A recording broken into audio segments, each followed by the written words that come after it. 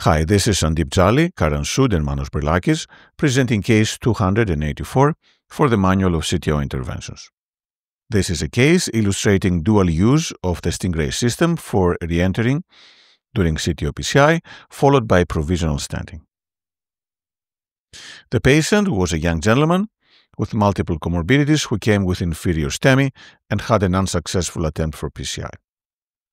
He subsequently had a cardiac MRI that showed edema in the inferior, inferior septal, and inferior lateral, with viability in the circumflex and mixed viability in the right coronary territory. And he was sent for PCI of the right coronary artery CTO. And this was the coronary CT. The right coronary had recanalized, and uh, there was uh, a CTO of the circumflex. There's some calcification. There's a bifurcation on the distal cap, looks like a short occlusion. And this is the coronary angiogram. We do have the CTO of the uh, proximal circumflex. The, uh, there's a bifurcation on the distal cap. This shows it a little better. There's this uh, first obtuse marginal branch, and then the CTO, and then the distal vessel with the OM2 and distal circumflex. So to summarize, what we have is a blunt proximal cap, short length, bifurcation distal cap, and this is filling mainly via lateral bridging collaterals. Therefore, the plan was to try with antegrade wiring first, followed by ADR, and leaving the retrograde as a last resort. We did an attempt for antegrade wiring. This is uh, probably one of the last uses of the over-the-wire Venture catheter that has been discontinued, but it is a catheter that can be bent up to 90 degrees, providing very strong support for the guide wire.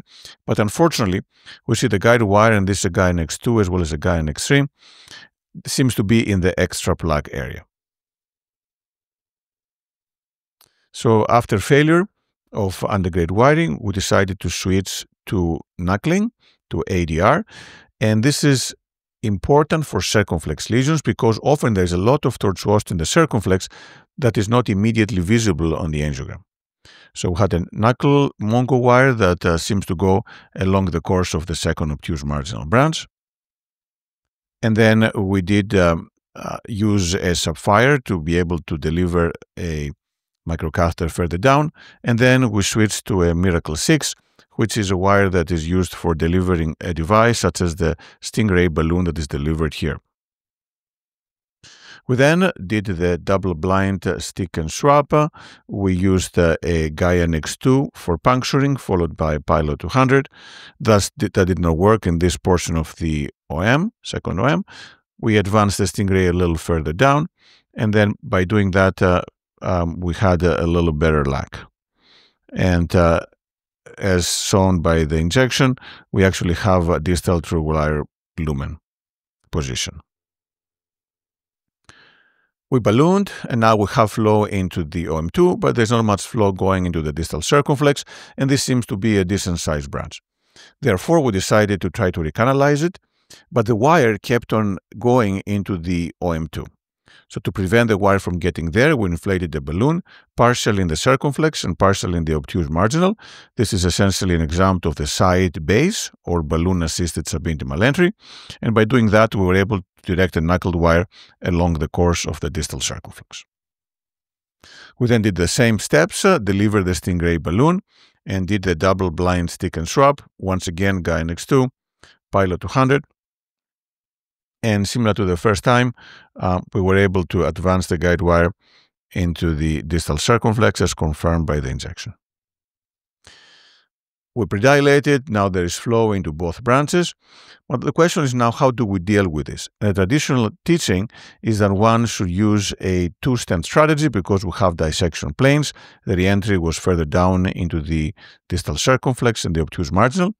At the same time, this was relatively small vessel, both the OM2 as well as the circumflex. So we were concerned that using a dual stent technique such as DK crush or culotte, that uh, would carry higher risk of restenosis. So we decided to attempt uh, the provisional, having said that, leaving a guide wire into the circumflex, so we stand it uh, from the circumflex into the obtuse margin. And that provided actually a nice result.